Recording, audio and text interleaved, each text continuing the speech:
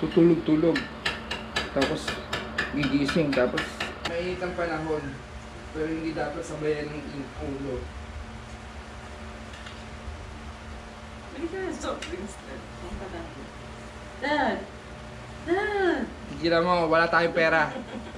Hindi ka na. Duty of the ka. Kami nga nagtitipid dito. Wala kaming bibiling soft drinks. Check nyo mga makakasatisfy. Service na, di ba?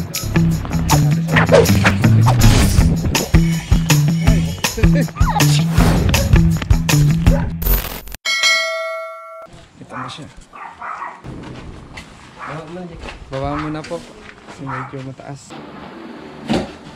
Ayun, dumating na rin. Isang kahapon, in-order namin to. Tapos, ngayon, yung delivery. Anong oras na ta? Ano, anong oras na po ulit? 9.30, no? Oo, ang aga. Kala ko mga hapon to i-deliver.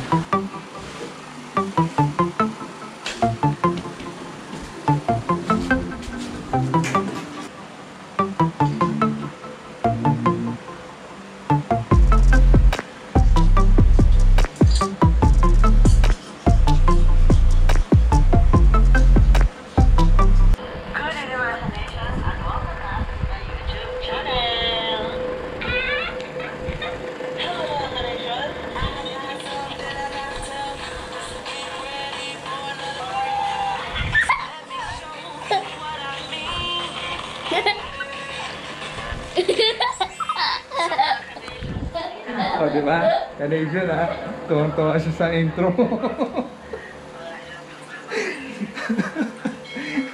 Tuwang-tuwa siya, hindi ko alam kung bakit. So, ayun mga satisfied. Ah... ang gagawin natin ngayon, dito muna. So, ayun na, mga satisfied. Ang gagawin natin ngayon ay...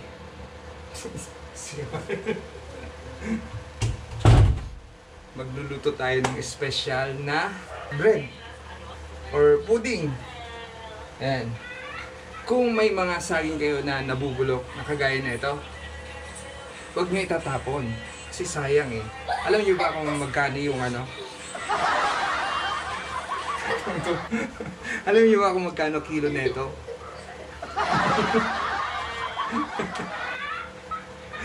kapag merong naglalako ng saging dito sa sa street namin 80 so imagine parang Saudi na rin di ba mahal so ayun huwag nating itatapon at gawin natin na pudding para hindi masayang mga satisfied. Oh, sige mga satisfied. Paghaluin na natin ang ating mga ingredients. Siyempre, hindi mabubuo ang tinapay kung walang harina. Siyempre, saging. Yan. And then, ang special na ingredients natin ay ang Bear Brand Choco Milk. Bear Brand. Or scoop. Brown sugar. Apat na scoop din siya. Ang milk. One, two, three. Egg. Ayan. Ngayon, pagaluin na natin. Alright. Kung nakukulangan pa kayo sa ano sa egg, pwede naman. Dagdagan nyo. Pero parang gusto isang itlog, enough na. Tutulog-tulog. Tapos gigising, tapos ayun ang gulo. Ayan. Sarap-sarap na nga ang tulog niya eh. Tapos nagre-reklamo kami eh, pa kwarto. Tapos kasalanan ko pa sinarado ko.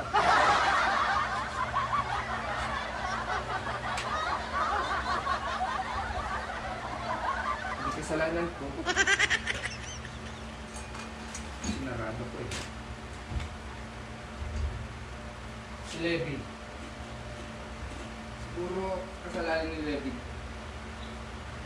Levi, bakit mo sinarado ang?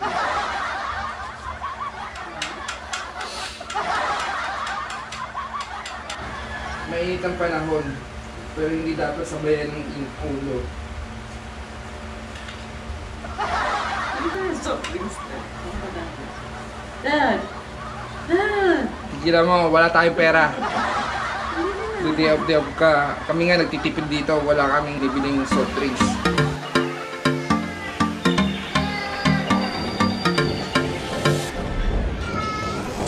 Ang init na panahon. Mainit lang. Mainit din ang ulo ni Mrs.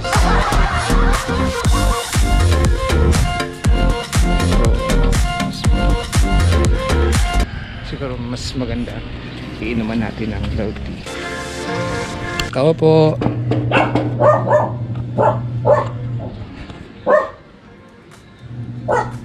Tao po. Bibili tayo ng milk tea. Pabili po ng milk tea nyo. Milk tea po. Ah, sige pa. Tingnan may mga negosyo ng ganito dito sa Metro. Dito yan sa Stanford. Ayan, Auntie House. So titikman natin ang kanilang milk tea dito. Sir, Kois, Anong ano? anong... Mainit. Oo nga eh. Basta ako. One take one naman yan. Buy one take one. One take one. Ano, large o yung regular lang? Large na? Ah, di yung ano lang yan. Anong size na? 22 ounce. Ah, sige. Yung dalawa. Ano bang bestseller nyo? Yan. Caramel. Macchiato. macchiato, brown sugar, Hershey's. Hershey. Shinengo. Sige, yung caramel macchiato na lang at Saka- caramel, choco, hazelnut. Yan. Oo, yun na lang. Macchiato, hazelnut. Ah, ah. Bali 130. Tapos pili mo. Check. Atid ko na lang doon. Ah, sige. Ayos yung pwesto niya. ah.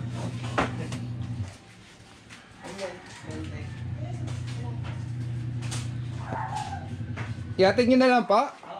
Sige po.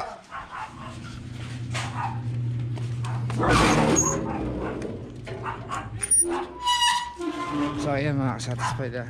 Ito. Auntie House. Dito yan sa Stanford Metro South. Ayan. Katapat lang yan ang bahay namin. Ayan.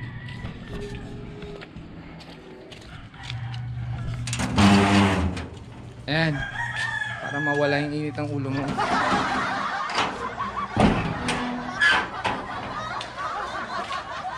Wala ka na. Ano yung downloading plans? Ano? Result. Result ng Results. Pub test? Okay. Swab test ulit. Hindi, requirements kasi yan sa kumpanya nila. Hey, init.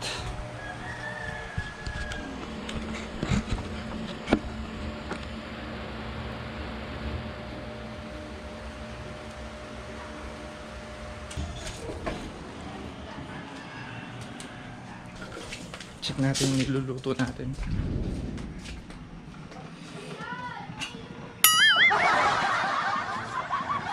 Wala lang. Kaldero yung niluluto.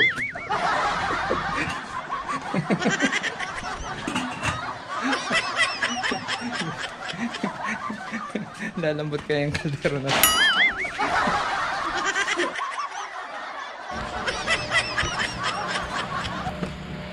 Hi baby. Ano din? Ah, hazelnut tapos ah macchiato. Caramel macchiato. Uh, caramel macchiato. So yung hazelnut. Tsaka isang hazelnut. Ayan mga satisfied dumating na yung order natin. Ang layo. Ito yung mga pangalan. Ayun. Kasya ba? Kasi yata. Ay, sige. Ay, pa. Paano pala? Maraming salamat po. Thank you. Sino po kukontakin nila? Ah, Toto. Ah, Sir Juanito Toto. Paredes. Ayan, dito lang yan sa Stanford. Auntie House. Ah, Auntie House. Thank you po. So mga satisfied, titikman na natin ang kanilang milk tea. Oh, mami. Dahil sa mainit ang ulo mo, ito na sa'yo. Ayan. Pak! Ayun na. Ano gusto mo? Ito. Caramel. Caramel ma- macchiato. Choco hazelnut. O sige. Kuha ka na isa. Ano yung level niya? Tea. The new face of tea. Ito yung sa akin. Choco hazelnut. Wow. Parang masarap yung ano yan. Macchiato. Hot. Try natin. against the light yata. Try.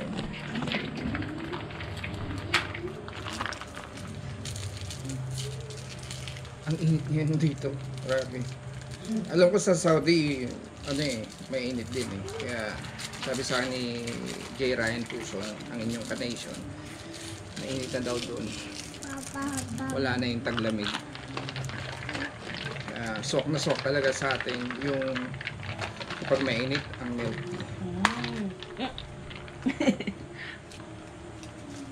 Mm. Sarap.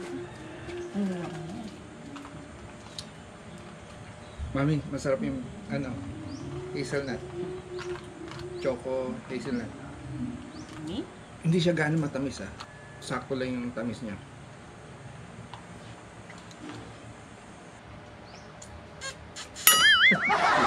Ito na naman tayo.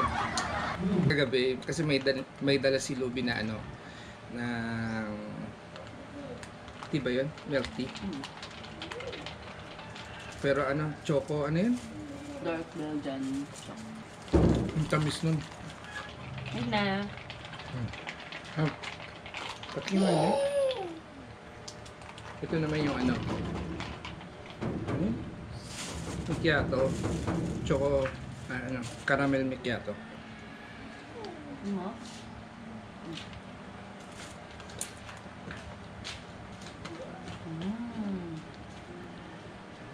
Mm. Masarap din ha. Mas bet ko daw. So, yung mga satisfied na. Ang anti-house. Oh, speaking pala of J. Ryan Tucson, mag-end na yung ano niya, yung contract niya. At sabi niya, uwi daw siya ng December. So, sabi niya, dadalawin niya daw ako dito. So, ito na. I-reserve ko na yung isang room para sa inyo ni Donel. Ayan. Medyo magulo nga lang. Ayan. Pero pagdating niyo dito, maayos na yan. Okay.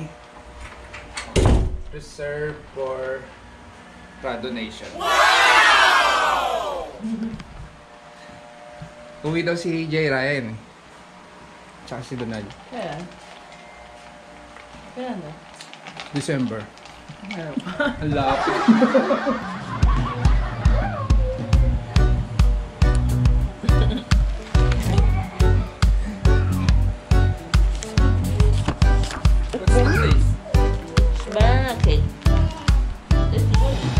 Nagustuhan mo ha?